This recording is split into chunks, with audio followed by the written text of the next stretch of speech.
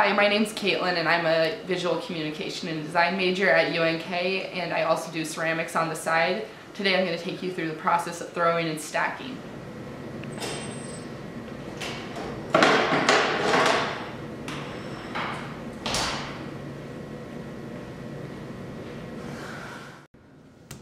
Right now I'm wedging up my clay to get it ready to throw. Getting the wheel ready to put the clay onto, so I'm putting the bowl around it so the clay doesn't go everywhere, and then I'm putting the bat on it.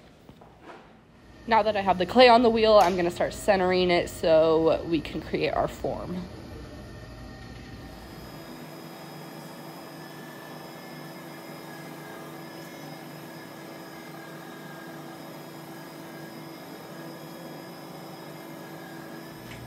Now that the clay is centered, I'm opening it up and making it taller.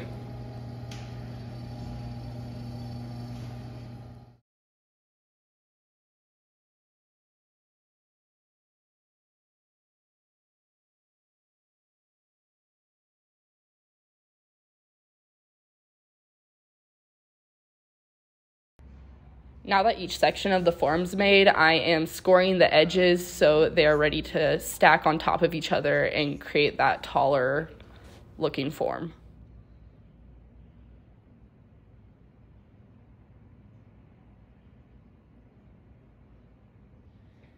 Now I'm attaching the two structures, the one piece to the bottom piece to make it taller.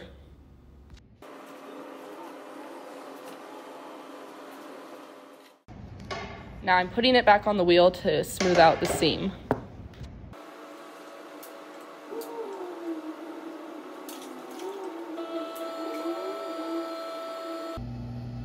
This is the end of the throwing and stacking process. So after this, you go, you're gonna go ahead and let it sit for a few days to dry out and then it'll go in the kiln. And after the kiln, it's glazed and fired again.